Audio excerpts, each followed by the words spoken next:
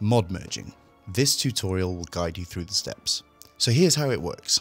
Hogwarts Legacy uses Unreal Engine 4. Now the problem with Unreal Engine 4, it can't quite be manipulated in the same way, there's a lot more restrictions over it. Now when you mod certain elements of the game, excluding things like textures or items that replace existing items, those replace an existing texture, they don't add anything.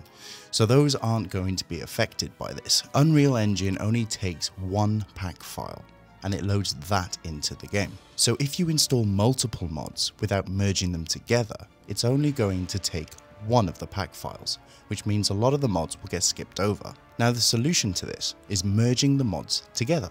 That one mod contains all of the mods that you want installed in the game, and then Unreal Engine and Hogwarts Legacy loads that one file containing all the information that you want to see. Now the downside here is you'll have to do this yourself, and every time you want to add or remove a mod, you have to create another merged mod.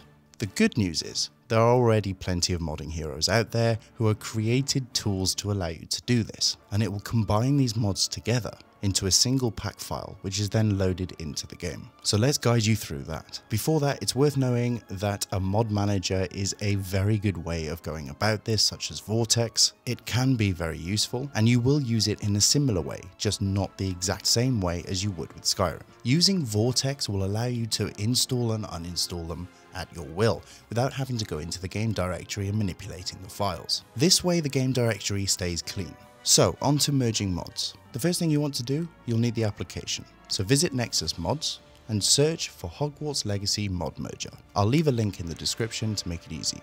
On that page, visit the Files tabs and click Manual Download.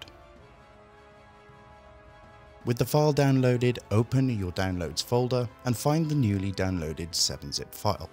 Right-click on the 7-zip archive, hover over 7-zip and extract to its own folder.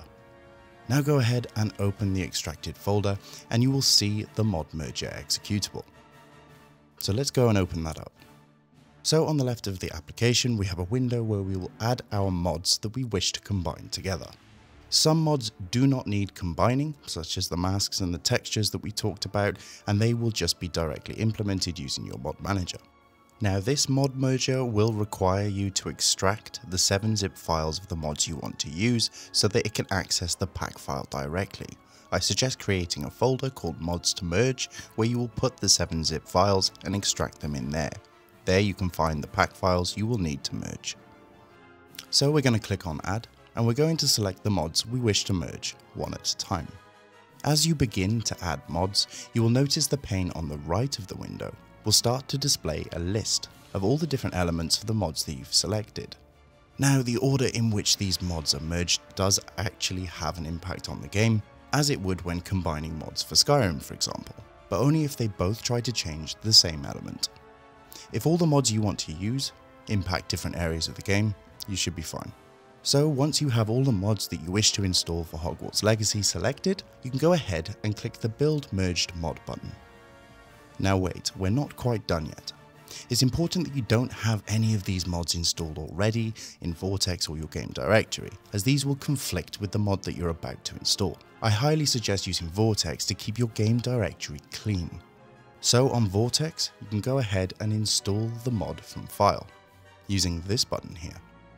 Now navigate to your mod merger folder as the merged mod file you've just created will have been outputted here. Select output and the PAK file inside. Click confirm on this window and Vortex will change the PAK file into an archive. Now select the drop down arrow next to the mod and click enabled. At the top of the window across the bar, click deploy mods. Now you can run the game at the top clicking the play button next to the game and your installed mods should be ready to go. Perfect time for a brew.